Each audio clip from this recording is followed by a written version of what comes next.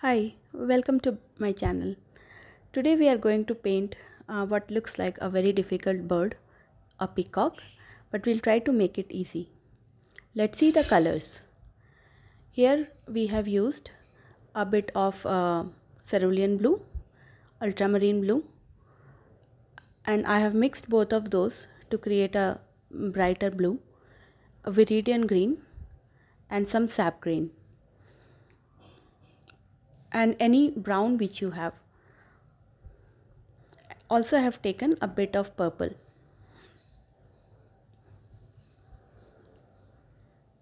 Let's see the first wash. Here I have just uh, wet the front part of the peacock which is in purple and green and blue and you can also wet the area behind the uh, behind the plumage so what he the peacock has on his head, head we call it as a plumage. So here i'm giving a bit of underwash of purple.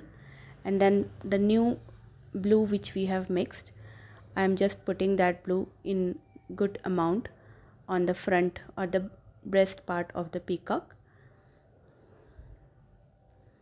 I have used a 6 number brush here. You can also paint it with a 4 number brush The sides of the paper is around 8 inch into 8 inch. You can also replicate it on a bigger paper. Here I am just dropping some of the blue colors. In between I have dropped some purple on the top of the uh, body part and also some green on the top of the body. Where you can see in the reference picture there is a light green area on the top. Similarly I have wetted the second half and then there we have given a light viridian green wash. I have tried to simplify it a bit because peacock has a very complex body structure or the colors in the feathers. Here I am dropping some more blue in the darker part.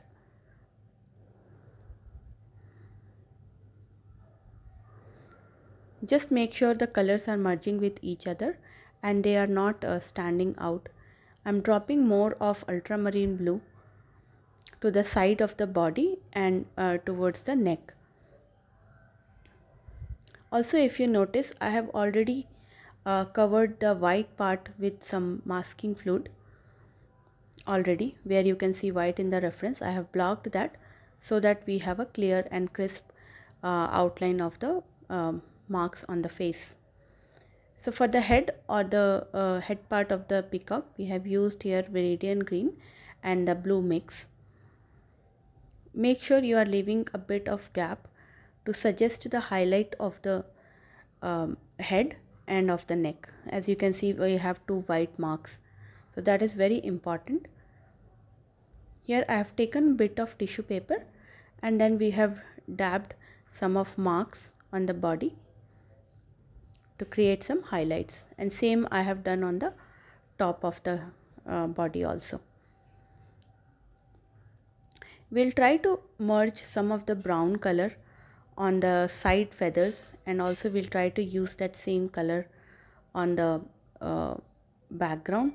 So if you can see I have also painted the background with the same brown color because later we are going to highlight these feathers into a much darker brown. We will give some details. Here I have just given a very light wash.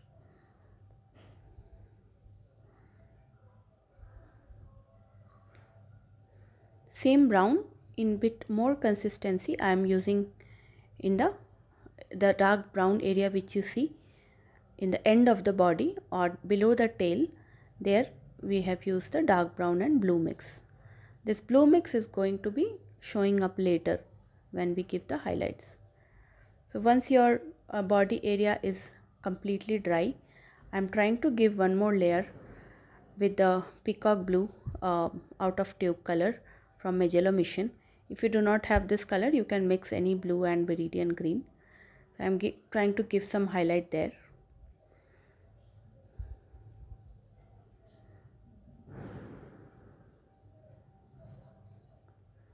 So here we are adding some more texture. I have switched to a number 2 brush. So here I am giving some texture to the head. You can zoom in and see that we are trying to make some small circles on the body. If you zoom in into the reference photo you will see it is a bit of rough surface on the head of the peacock.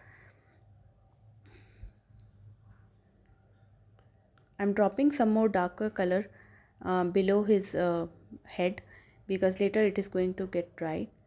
We are also pulling some of the details of the uh, body uh, plumage here. But uh, do not do it too much. Just pull a little bit of details. As you can see in the reference photo it is too much detailed. But uh, we are not trying to get here all the details. We are trying to get the right values of the color and also we are trying to get the right shadows. So I've just used a little bit of texture of the feathers and that's it.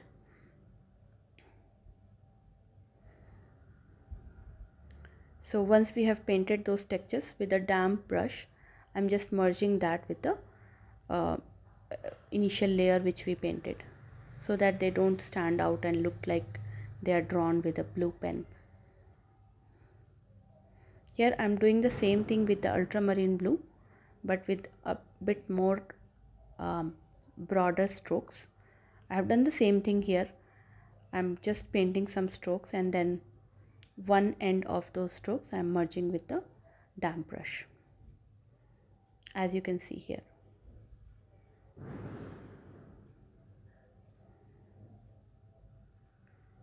That gives a more softer look for the feathers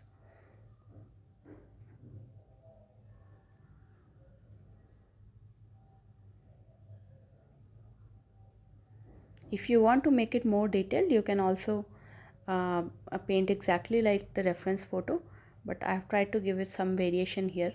Similarly for the lower body part also we are just making some marks of sap green mixed with viridian.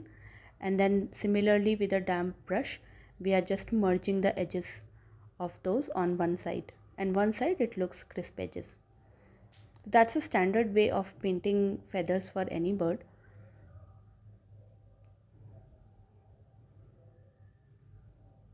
same we are doing some blue highlights also on the top part of the body. So here we are almost done. We will uh, see how to paint the top uh, light green part.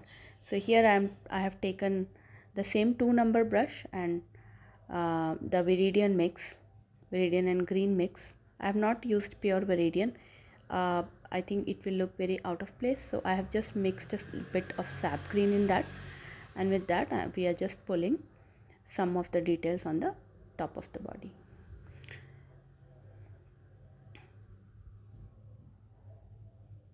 So if you see carefully in the reference photo, this part of the body is divided into two, the left and the right part. So we are trying to create, we will try to create kind of a division in between where you can see I have not painted any of the, those lines. So we'll try to paint a division with a little bit brown color later.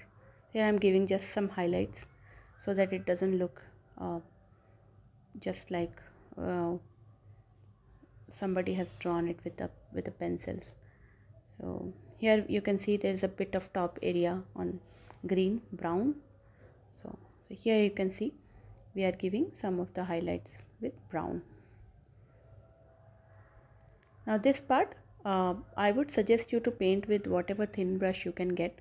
I have painted it with 2 number you can use any brown dark brown you have. You can use Van Dyke brown or you can mix your own brown. Anything is fine. So the strokes are when they start they are very thin. They are thicker in between and then when we are ending them they again become thin. So because it was a tedious process um, I have speeded it up a bit so that we can complete it quickly. So this is the same thing I'm going to replicate for the rest of the body. It will take some quite a while.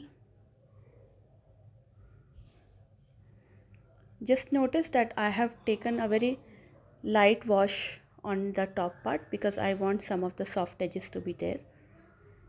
With the same brown now I am started to paint the darkest part which is the black and brown feathers long feathers so again um, I'm not painting exactly like the reference photo but I have tried to depict it in a different way.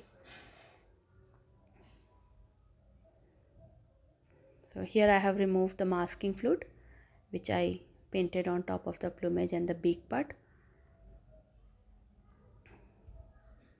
I have used ultramarine and the peacock blue uh, mix here and with the same two number brush I have again painted some more details.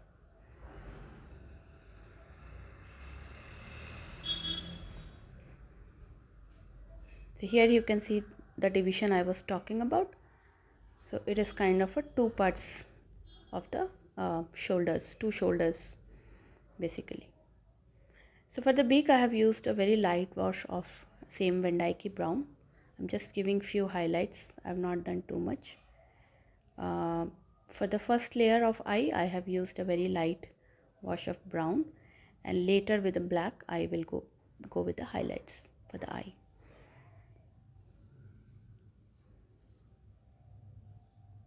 So if you see this painting, there are two or three focus areas. One is the head and one is the top part of the peacock.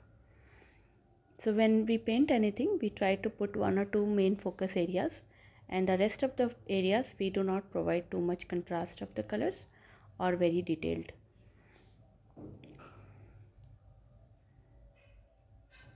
So this is the bottom part. Here I have mixed a bit of uh, um, brown with my ultramarine I've tried to give a very dark shade here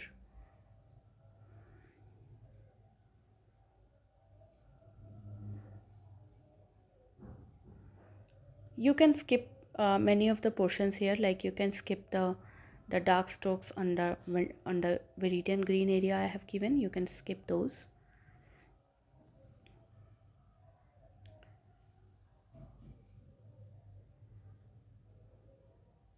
Here with the zero number brush I have just put some details where I think there was a fluffy part on the tail. And now I'm just putting some more small details with the damp brush I'm just trying to soften some of the edges